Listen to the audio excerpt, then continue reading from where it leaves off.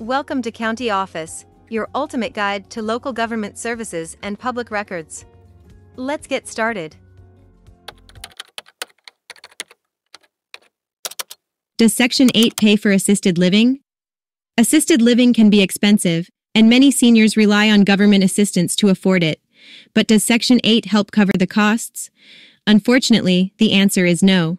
Section 8, also known as the Housing Choice Voucher Program, only covers the cost of rent for eligible low-income families and individuals.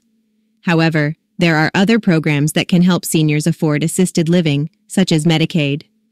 Medicaid is a joint federal and state program that provides health coverage to eligible individuals with low income.